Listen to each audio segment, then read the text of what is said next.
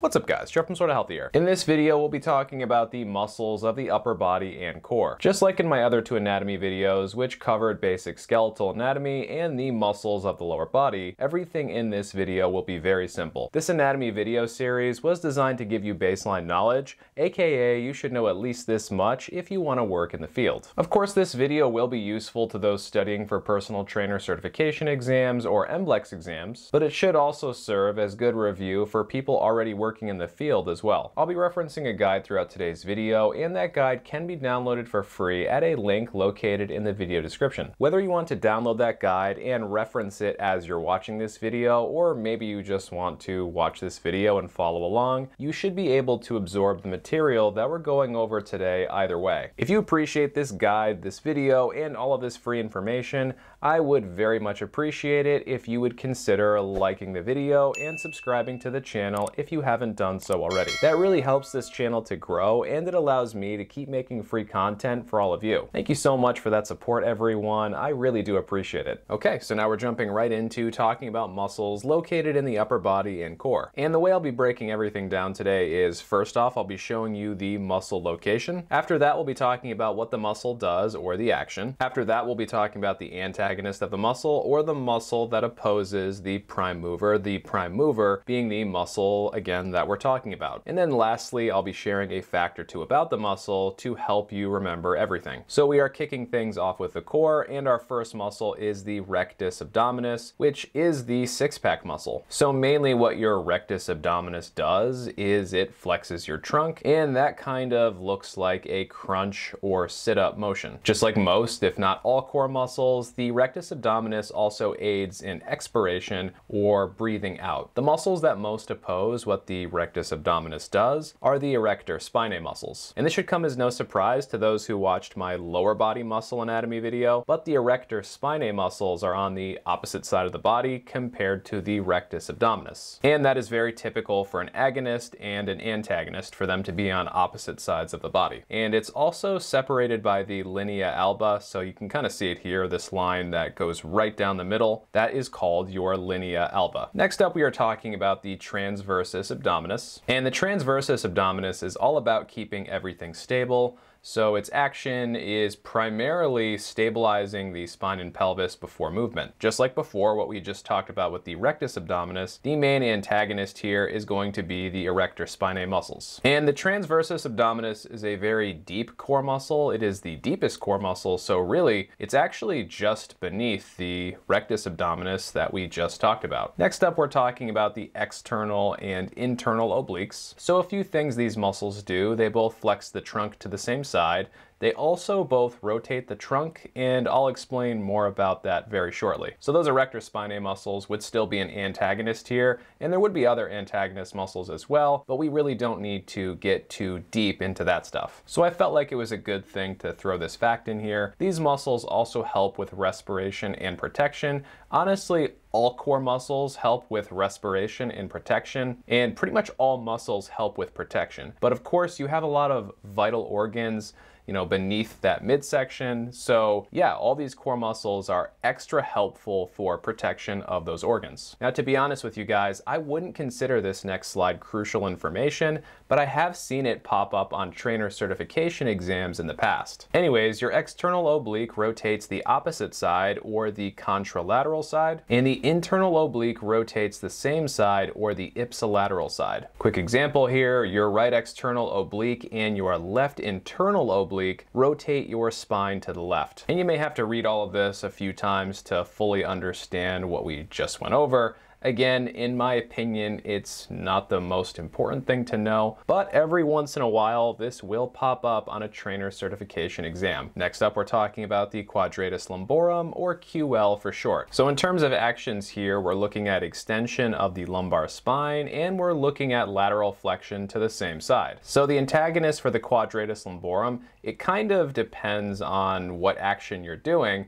that being said, oftentimes these two sides actually oppose each other. There are definitely other antagonist muscles to this quadratus lumborum, but that's not super important information for us to go over right now. So the QL is definitely one of those muscles that's likely to be injured or tweaked but it's not always the problem. I find very often that the QL is more of a victim rather than a problem. When surrounding muscles like the abdominal muscles or glute muscles are too weak, the QL often ends up paying the price. Next up, we have the erector spinae muscles, and we're looking at three different muscles here. We have the iliocostalis, the longissimus, and the spinalis muscles. So like we said before, these guys do the opposite action as rectus abdominis, that crunching or sit-up muscle, so they extend the vertebral column, and they also laterally flex the vertebral column to the same side. So again, like we said, these guys directly oppose the rectus abdominis, and sometimes these erector muscles are referred to as the first line of protection for a stable spine, and it kind of makes sense based on where they're located. They just give the spinal column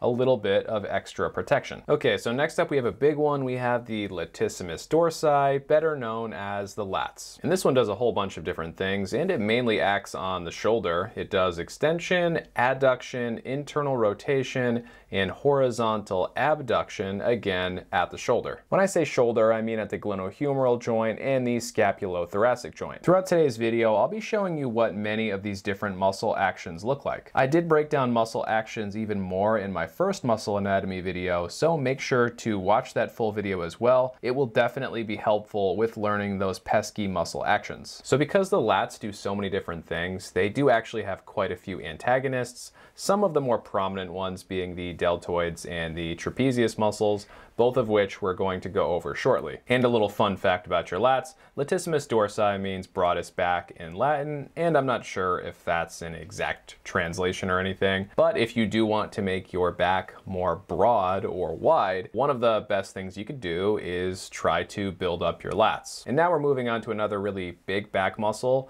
and this one is kind of shaped like a kite, Of course, we are talking about the trapezius. Now, the trapezius does do quite a few things, and not all of them are listed here, but some of the main things that the trapezius does is it retracts and elevates the scapula. Some of the main antagonists to the trapezius would be serratus anterior and pec major. And a fun fact about the trapezius, this muscle is responsible for many headaches, and it makes LMTs, licensed massage therapists, a lot of money. Basically, everyone always thinks their trapezius is full of knots and that it's this big problem area. Just like with the quadratus lumborum, that lower back muscle that we talked about before, trapezius is usually more of a victim rather than an outright problem. People slouching all day causes this trapezius to be locked tight and overstretched, and that poor posture can cause headaches since the trapezius attaches at the base of the skull. If this goes on for long periods of time, it can cause something called upper cross syndrome, which can be uncomfortable. In these days, unfortunately, this is a very common thing to encounter. Next up, we're talking about the rhomboids. We have rhomboid minor and we have rhomboid major. And these guys retract the scapula, they rotate the scapula, and they also stabilize the scapula. These guys, like the trapezius, are also blamed for a lot of upper and middle back pain. But just like the trapezius, more often than not, these guys are more of a victim than an outright cause of the problem. Really, we just need to get people to kind of assume better posture and retract those shoulder blades down and back. Again, getting out of that forward rounded posture that most of us find ourselves in far too often. And the rhomboids are actually deep to trapezius, so they actually run right underneath part of the trapezius. So the next muscle we have is levator scapula, and levator scapula is an easy one because it pretty much does exactly what it sounds like it should do. It elevates your scapula, it also uh, rotates your scapula, and it kind of rotates your scapula as you're reaching your arm upwards. So in terms of antagonist muscles for the levator scapula, the serratus anterior would be one of the antagonist muscles. There definitely would be other ones as well. But again, we're not super concerned with that detail right now. And a quick little fact about the levator scapula, when the neck is stiff, very often this muscle is to blame, and that could be for a number of different reasons. Maybe someone is doing a lot of overhead stuff, maybe they're doing a lot of reaching forward and overhead, but again, general postural stuff could cause some issues here too. Next up we have serratus or serratus anterior. And mainly what this muscle does is scapula protraction, so that forward kind of motion of the scapula. Because the rhomboids and the traps do the exact opposite thing, they do scapular retraction that would make them the antagonists to this muscle. Sometimes your serratus anterior is called the boxer's muscle or the big swing muscle. That being said, there are more important muscles when it comes to punching punching power typically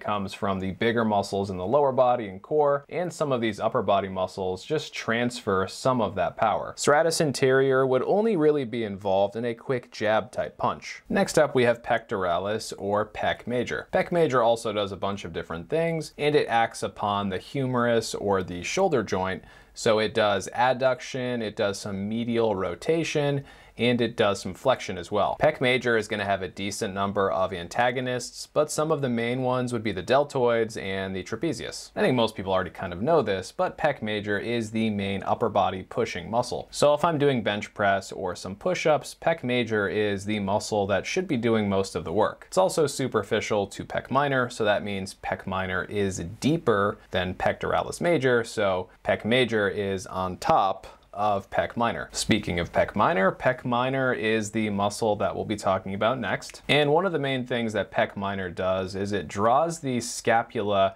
anteriorly and inferiorly. Anteriorly meaning towards the front of your body, so it's pulling your scapula forwards, and it's also pulling your scapula kind of downwards. So forwards and downwards into potentially a kind of rounded position. That's not to say pec minor is a bad muscle. We do need it, of course. There are some tasks that require us to be in that position. Because pec minor is pulling that scapula forwards and downwards, the antagonist muscles to think about here would primarily be trapezius and the rhomboids because they retract the shoulder blades, kind of bringing everything backwards. And like I've said a few different times now, this is one of the muscles we want to think about most when working on posture. So if we do have someone stuck in a very rounded forward position and they want to work on that, or they're experiencing pain or discomfort from that, stretching out the pecs, that can be really helpful. The door frame stretch is one of those simple ones that can go a long way with helping out with this. Next up, we have the deltoids, and they hang out right up on top of the shoulder. When you think about deltoids, I mainly want you to think about shoulder abduction, but of course, they do aid in shoulder flexion and shoulder extension as well. One of the main antagonist muscles for the deltoids would be the lats, and that's because the lats are partially responsible for shoulder adduction. And we already said the deltoids do shoulder abduction, so that would be the exact opposite motion. Honestly, I probably should have wrote pec major here as well. That would be another antagonist of certain parts of the deltoid. But because these muscles of the shoulder joint do so many different things, we don't need to worry about every antagonist. So there are three different parts of the deltoid. We have the anterior or the front part.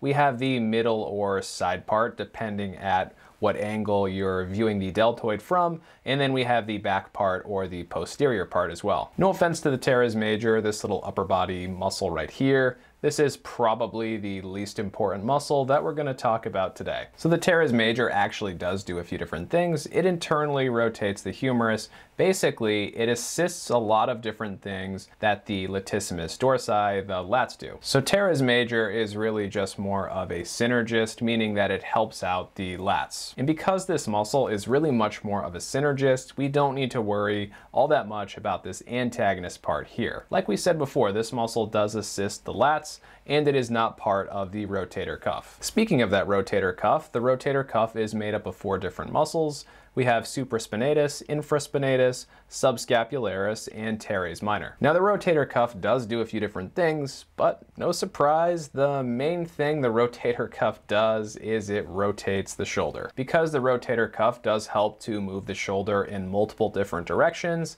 it could have different antagonists. Oftentimes pec major is one of those antagonists, but of course there could be others as well. Rotator cuff injuries are common and problematic and that's because these rotator cuff muscles are very small and spindly.